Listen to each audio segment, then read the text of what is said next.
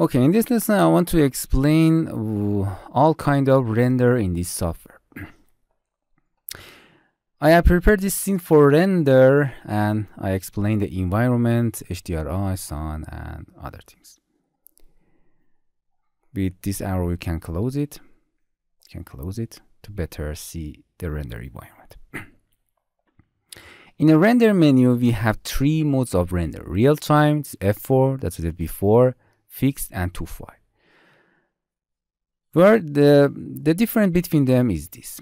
When you click in F4 or render, as you can see, we have an a real-time render. You can click and drag and render it.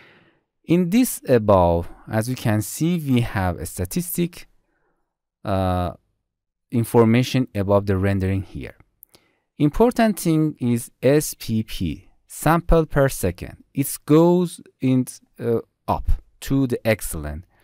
It has not limitation here. Let's go to 100 to 2000, 3000 to best quality. As you can see, this quality of this render is going better and better and better. If you, for example, as you can see, all of the blurs, all of the noise, they are gone and the render is going better and better. This is SPP. Any anytime that you move, it's go to the zero and increase to the uh, higher level, increase to the excellent quality.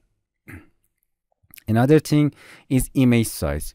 We do not specify the image size. It specifies itself. It means exactly this size of the screen is your image size. Other thing is this lock. If you click here, as you can see, it's uh, slider here. It's green and uh, we can specify this time and it goes here and automatically lock the scene. If you can you can click it anytime that you want.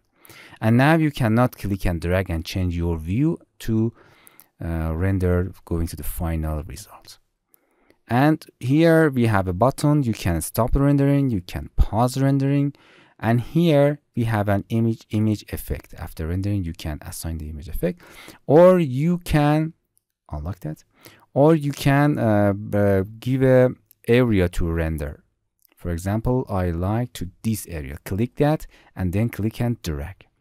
And as you can see just inside this region is going to the render and the, going to the best quality. And the outside that does not render. And it automatically lock and you cannot click and drag because it's fixed here.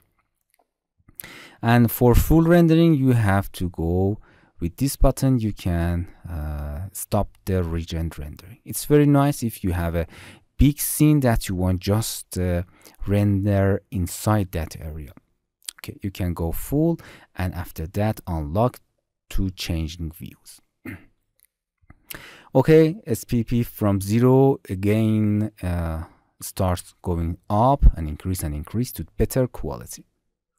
This is real-time engine real-time render. We do not specify spp we do not specify the image size. What is spp hit f4 in this image you can see the SPP is very important to quality your image. We have a lot of noise here with a um, sample, low sample and with a higher sample we have better quality. Of course if you increase the number of the sample uh, we have more time to uh, we need more time to render and more resources from your PC to render. F4 again in at any time that you uh, satisfied with your render here you can uh, capture this scene for exporting. You can use this. You have to use this. If you click on it, you can uh, type any name for your render and you can specify which format PNG, JPEG or HDRI. You can save your folder any time your PC. That's it. This is real-time render. Another mode of rendering is so going to render is a fixed. The difference between the fixed and real time is this. If you go into the render, I will explain more about output setting in a next lessons.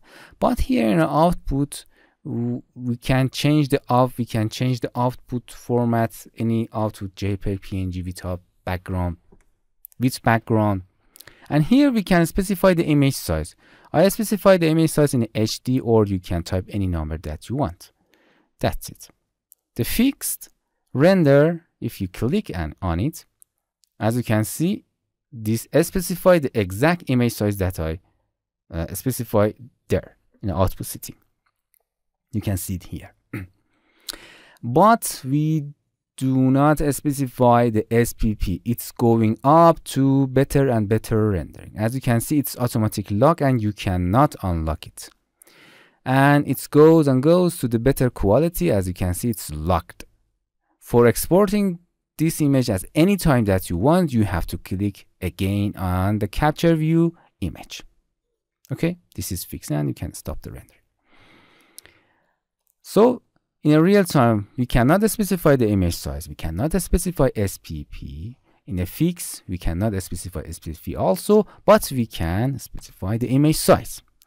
To file render, if you click it, you can specify everything you want, custom setting, and hit render.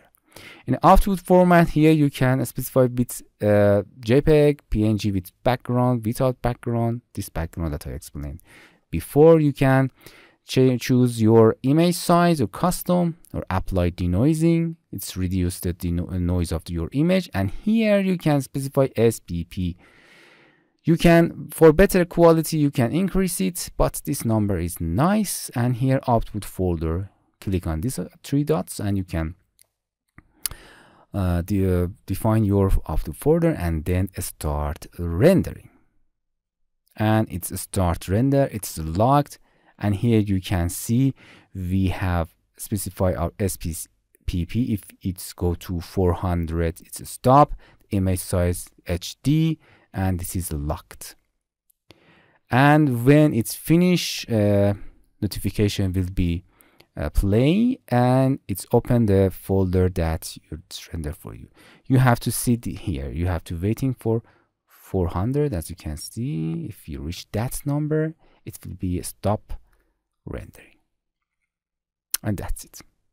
As you can see, it open for us. And it's automatically named for us that I explain how to change that.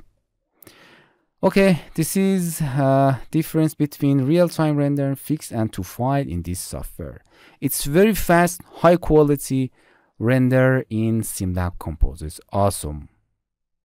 And you can see the very uh, important settings in this uh, bar in statistics information here. Hello my friends, to continue these tutorials on YouTube, subscribe us, like us and hit the bell icon. And now you will be alerted about all of the amazing videos that we release.